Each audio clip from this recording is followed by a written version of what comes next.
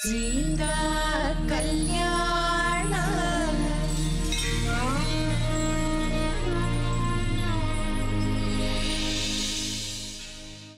എന്താ എന്റെ അനിയത്തിക്കുട്ടിക്ക് ഒരു മൂഡ് ഔട്ട് ഒന്നുമില്ല. ഇനി നമ്മൾ അമ്പലത്തിൽ പോകുമ്പോ വിളിക്കാത്തോണ്ടാണോ?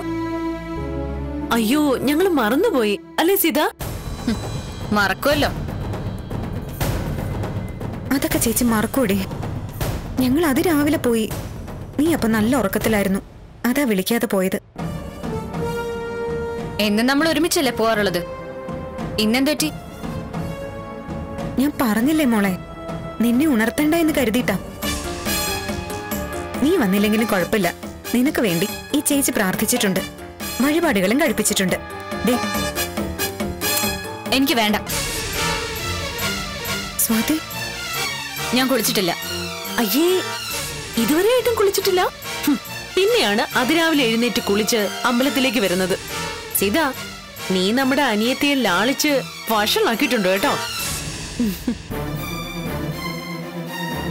ആണോടി അതുകൊണ്ടാണോ നീ ഇങ്ങനെയായി പോയത്?